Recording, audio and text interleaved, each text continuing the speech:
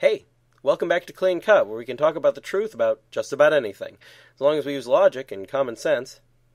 This season, we're discussing issues that I've personally wrestled with with regard to the faith. And today we'll be addressing the question Are my goals compatible with God's goals? Now, this question refers to an important distinction with regard to our relationship with God. Christian speakers often point out, correctly, that impenitent sinners are making the mistake of trying to do things their own way, and that we should try to do things God's way. The question of having different ways of getting things done can be best understood with an analogy. Bob and Jack both want to get to Kansas, but there's many roads leading into Kansas and each has a different idea about which way will be the fastest, and which is more likely to get them hopelessly lost. Because of his perfect knowledge, God's way to any destination will always be the best way. However, it's equally possible for Bob and Jack to want to go to two different places Maybe Bob wants to go to Kansas and Jack wants to go to Illinois. They might follow the same road for a while, but they'd eventually have to part ways when going to their individual places of choice. This is the distinction between people having different approaches and different end goals. So the question for today is, are our end goals similar enough to God's end goals that we can justify taking the path He's set out for us? In matters of human affairs, this question actually comes up pretty frequently every time we vote for somebody or donate to a charity.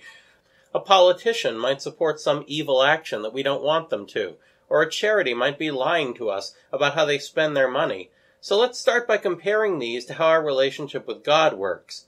God doesn't lie because of his moral perfection, but he also doesn't tell us everything that he plans to do, so there is some confusion there.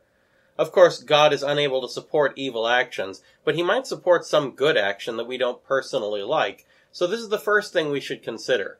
If we want our goals to be compatible with the goals of God, number one, we need to learn to not detest good things.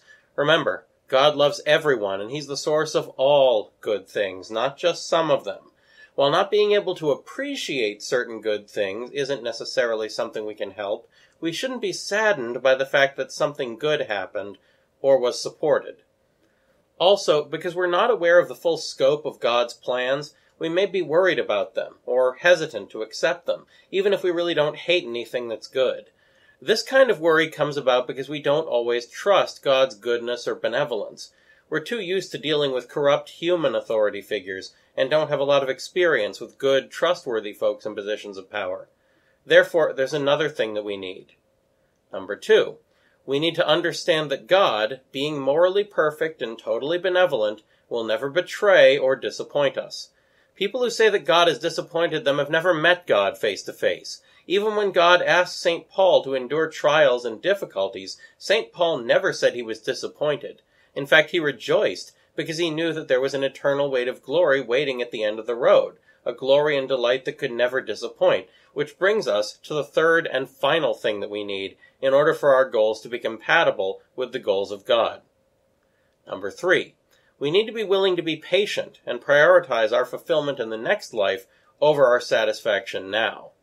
This is by far the most difficult one. The fact is, the life of sin that we live in right now prevents us from enjoying immortality.